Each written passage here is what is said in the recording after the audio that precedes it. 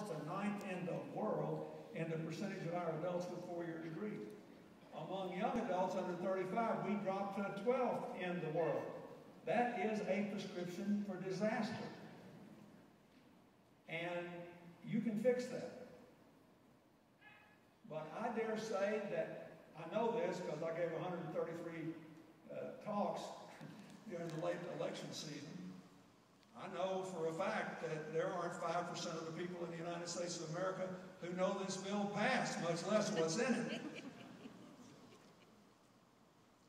And therefore, it has not yet gripped the imagination of our young people. You should, first thing I want to ask you is make sure every last kid you got in these schools least by the time they're in middle school, knows exactly what this student loan bill does. So it doesn't matter how poor their parents are. It doesn't matter what kind of problems they have. It doesn't matter if daddy loses a job, if mom loses a job. It doesn't matter what happens. They can go to college now because of the law. It is a revolutionary law which does, it, it, I cannot tell you how important this is, but it won't amount to a hill of beans if people don't know it exists. So I ask you first to think about that. The second thing I would like to ask you to do is to make sure every charter school in America joins the Alliance for a Healthier Generation. After I had my heart surgery, the American Heart Association and my foundation set up this alliance to try to stop and then reverse the rising tide of childhood obesity. It's the number one public health problem in America in the last couple of years, we've had children as young as nine in New York and Washington, D.C. being diagnosed with type 2 diabetes. It's become so alarming that the American Medical Association had to say year before last that you can no longer refer to type 2 diabetes. Type 1 is the kind you're born with, type 2 is the kind you get from living. And we always called it adult onset diabetes. So the AMA said, you can't say that anymore. We got nine-year-old kids showing up with it because of what we eat and don't eat, because of what, how we exercise or don't exercise. So I just came back from my library in Arkansas and we had our annual meeting where we gave awards to 275 schools. And we now have 12,000 schools in this Alliance for a Healthy Generation. We help people with their school meals, we help them with their exercise programs, we help them find affordable ways to manage these challenges, which are quite profound. We made deals with this, the soft drink manufacturers that have cut by 88% the total caloric content of drinks served in our schools and non-participating schools. 40% of caloric content in the snacks. And we got the people who are supplying on contract the school meals now to agree to very high standards to improve the quality and the con uh, caloric content of the meals. And there are about 239 charter schools who are part of these 12,000 schools.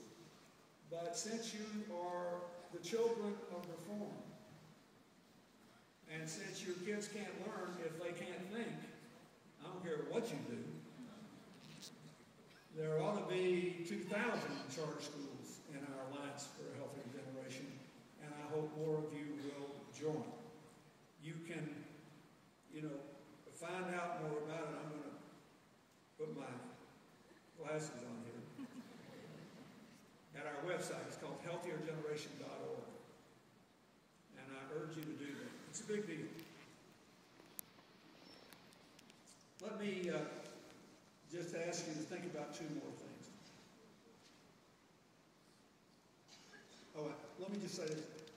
One of my favorite creative schools is the Harlem Children's Zone. They're my neighbors, just down the street from New York. So we asked them to host a meeting for the Alliance for a Healthier Generation because they maintain such good contact with all their parents. And we announced this meeting a week before it occurred. We spent no money advertising it. We had it on a Saturday morning at 9 o'clock.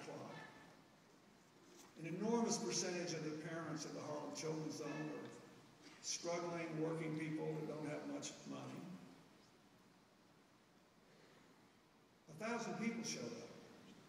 A thousand people to talk about the health of their children. So I, I urge you, more of you, to become involved in that. I also uh, would like to mention just two other things. There are millions of jobs open today that have not been filled in months. And even though the unemployment rate is higher, and everybody knows it's higher than the 9% registered because of people who quit looking, because they're discouraged, and because of people who have part-time jobs who want full-time jobs. Notwithstanding that, jobs are being filled, posted job openings, that is, I want to hire, they're being filled at a rate that is about half the rate of new jobs being filled coming out of previous recession. If we were just filling the posted job openings at the rate we were filling them in previous recessions, there would be somewhere between one and a half and three million more people working. Now, here in Georgia, the immediate past labor commissioner Michael Thurmond, who has been a friend of mine for many years, was given responsibility for job training, spending the federal job training money. He also oversaw Georgia's successful implementation of welfare reform. So in an attempt to shorten this gap, Michael Thurmond offered to give the federal money direct to the employers if they hadn't filled their jobs within, I forget what it was, maybe three weeks or something. And then they could train people however they wanted, and they could have people they didn't have to treat as employees. That is, they didn't have to pay Social Security and unemployment and all the other stuff you have to pay for employees, unless they actually hired them at the end of the training period. And it seemed to really speed up the system. I say that because I think that this is an opportunity for charter schools, training programs, and employers, many of whom support you strongly where you live, to try to solve this problem at the grassroots level. We have got to do something about this. It is nuts as high as unemployment rate is for us to be filling these vacancies only half as fast as we've always filled them in previous recessions. And I think you could have some effect on that. So I wanted to ask you about that. One final thing I'd like you to think about. Here we are in the summertime. Some of you are doubtless using your physical facilities, and some aren't. But unemployment in construction in American states is 25%. Nevada is 50%. And we can't justify building more buildings. But we can justify if we could finance making more energy efficient every school, every state, county, and local building, every college, university building, every hospital, every museum in the country. And they're all safe buildings because they're going to be here five years from now.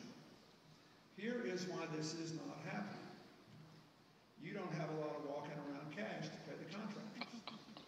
So, right? And a lot of schools, a lot of public schools uh, have, the whole districts have maxed out on their bonding capacity. But if there were a financing mechanism to pay the contractor and you could pay back loan only from your savings and utility bills, it would not cost you one red cent. And basically, rule of thumb, I'll tell you how it works.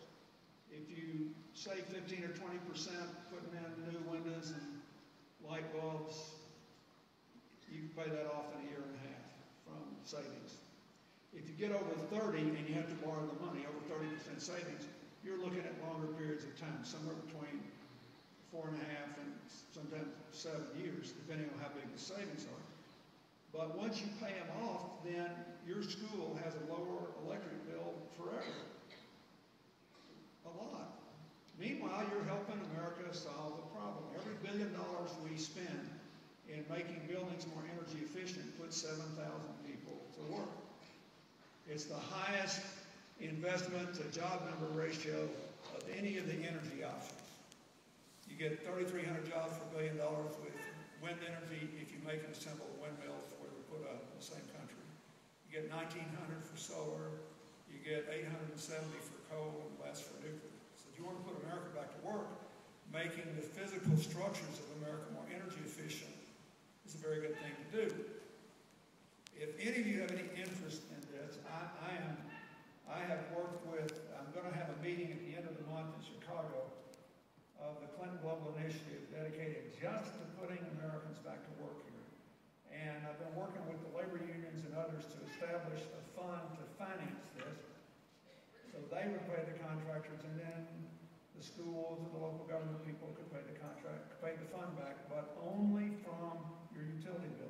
No out-of-pocket money.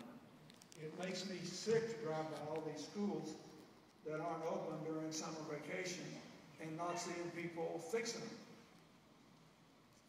One last thing you could do that